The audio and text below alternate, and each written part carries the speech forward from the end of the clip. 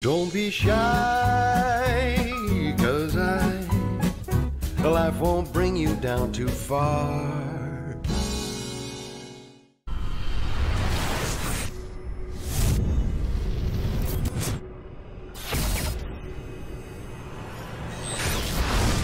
Oscar Bevis for IFL TV in association with MTK Global. That's the end of the second instalment of MTK's Fight Night, and uh, with Lewis Crocker. He's got the WBO European strap around his waist. Lewis, before um, I come on to talk about the actual fight, when someone wins their first title, you expect relief, you expect celebration, but that seemed like just a big outcry of hard work, dedication, and um, yeah, it was, it was good to see. It really was, mate. You know, uh, it means so much to me. It means everything to me, especially as I say, like coming out of lockdown and stuff. You know, even getting the fights hard enough. So to win my first professional title and to be a WBO European and to get it by stoppage as well against an undefeated guy who you know he's good rank and stuff. So yeah, it means a lot to me, and it, it showed at the end of the fight.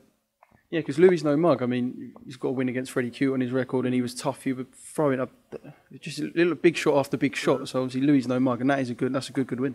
Definitely, mate. Yeah, you know, I, heard him in the first round. I dropped him, and then he came out in the second round and put it on me, and then you know we ended up just going toe to toe like the last couple of rounds, and it was a good fight. And he definitely get, he was like the, the best opponent that I fought.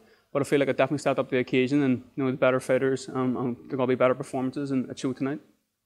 So when you dropped him in the first round, I thought we got the old Lewis Crocker back with the the knockouts. What was it? Did that six knockout run that you went on um, from your debut. But obviously you would have had a plan for this fight, and it's not a bad thing to drop him early. But does it scupper the plan a bit? Because you don't really, you might want to hurt him, but you ne- you can never plan to drop someone as early as you did. No, I didn't expect it. it you know, they say the shots that the they drop people like you don't expect them, and I didn't expect that because it just it was just like a flow, like a, of motion, and uh, and when I clipped him and I went down, it was towards the end of the round. I was like, I know two rounds up anyway, no 10-8, so that's that's the only thing I had in my head, and I knew I was, I was boxing well and stuff. And then when the, the body shot came, I knew he was really hurt, uh, and then uh, I finished well.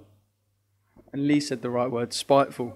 When there's no one in there and you can hear him landing, Yeah. it sounds like it sounds like a gunshot. Some of them, honestly. Yeah, I'll have to watch it back. You know what I mean? I was, I was too focused in there to, to, to listen to anything, to be honest. And it was a weird experience being in there, but I loved it. So I did. It was weird with no, with no crowd, but it was that, it was more intense. I feel like you know there, there was no distractions or nothing, and it was really good. So I'm looking forward to, to watching it back and, and listening to the shots.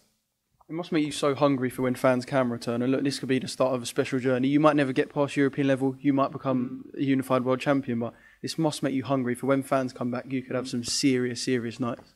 For sure, you know, especially back in Bel- Belfast, because um, Belfast is such a, a boxing city, a big boxing city, and um, there's so many great opposition, uh, like in other weight classes. Um, same MTK on from Belfast, so there's going to be big nights in Belfast, and I hope to, to bring back, you know, hopefully defend this here, and then some big nights. And I heard that everyone supporting you back there is just going absolute nuts tonight. Unreal, yeah, definitely. There's a party in my house at the moment, so I would say there's a there's a few happy people back in my house. And there's a lot of it about as well. Um, going forward, you're going to want the biggest fights, and it's probably the hottest division domestically. Um, so as well as the fact you got the belt, you got a bit of worth to your name now as well. You're with MTK. You just topped a big card. Um, people are going to start calling your name. Do you think? Definitely. You know, I've seen someone put up like the top 15 in Britain with the rankings and stuff. And uh, I looked, and I was the youngest person there. And so now I hold WO European title. I just headline my thing, my first first event. You know, I've a lot, I got a lot of years um, behind me off this here. So I'm just going to take every fight as it comes, get my experience. And as I say, I have another decade in me, at least. And let's get a couple of big wins, then I retire happily. Like, but I mean, uh, yeah, for sure, that's what I'm saying. That's all but building experience at this, this stage as well. And 12 and 0, um, WO European champion. I'm happy with that. Well, if you fight like that, apologies in advance for anyone they, they put in front of you in the next decade. Um, I'll Yeah. take it. just see, final word to yourself. The journey that you've been on, and like you said, the whole frustration during lockdown, and the fact you can just pen that anger up and then get out and win your title. This is just, I'll take it, it's one of the best nights of your life. If not the best night, mate. You know, it did show what it meant to me at the end, because it really did. Um, I remember just I was actually watching this documentary on Netflix, the the Michael Jordan thing, and I remember like his mentality was class. And I remember just watching, I was like, I need a fight. Do you know what I mean? And so to to get that and train so hard for it. And then, you know, fighting uh, abroad as well. Like, this is only the second time I fought outside of Belfast. And so, yeah, everything was class, class experience, and great night.